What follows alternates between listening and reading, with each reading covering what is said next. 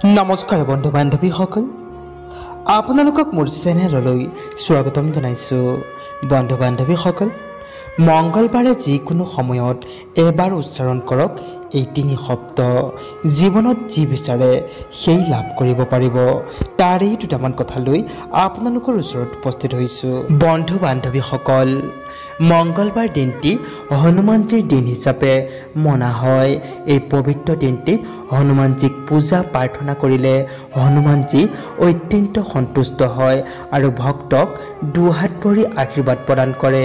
এই মংগলবাৰ দিনটিত হনুমান চালিচা পাঠ কৰা অধিক মহত্ব আছে। এই মংগলবাৰ দিনটিত হনুমান চালিচা পাঠ কৰিলে সকলো দুখ দুৰ্গতি দূৰ হৈ যায়। হনুমানজী ৰাম ভক্তৰ নামেৰে জনা যায় আৰু হনুমানজী এনে এজন ভগৱান যিয়ে ভক্তৰ পূজাত অতি শীঘ্ৰেই প্ৰসন্ন হৈ যায়।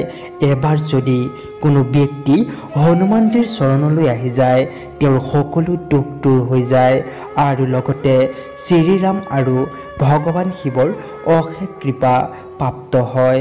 মংগলবাৰে হনুমানজীক শুদ্ধ মনেৰে পূজা কৰাৰ ফলত ব্যক্তিৰ সকলো চিন্তাই দূৰ হৈ যায়। আৰু লগতে সকলো কামতেই সফলতা অৰ্জন কৰিব পাৰে।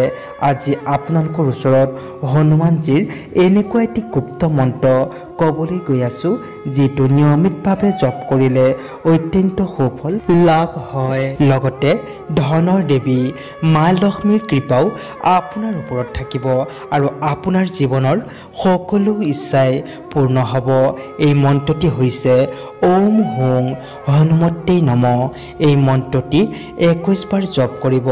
এই মন্ত্ৰটি জপ কৰিলে হনুমানজী অত্যন্ত সন্তুষ্ট হয়।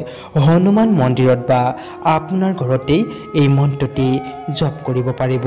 এই মন্ত্ৰটি জপ কৰাৰ ফলত আপোনাৰ বেয়া সময়বোৰ কাট যায়।